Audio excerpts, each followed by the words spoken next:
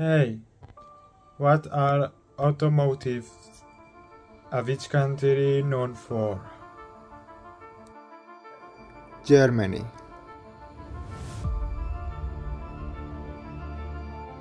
High performance and high quality.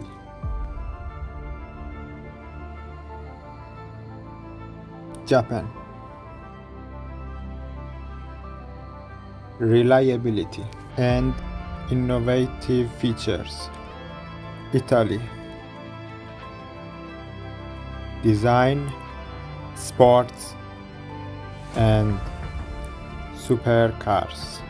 China. Bad quality however cheap to buy. USA muscle and rough France complex and sensitive programs. Sweden. Safe passenger cars and trucks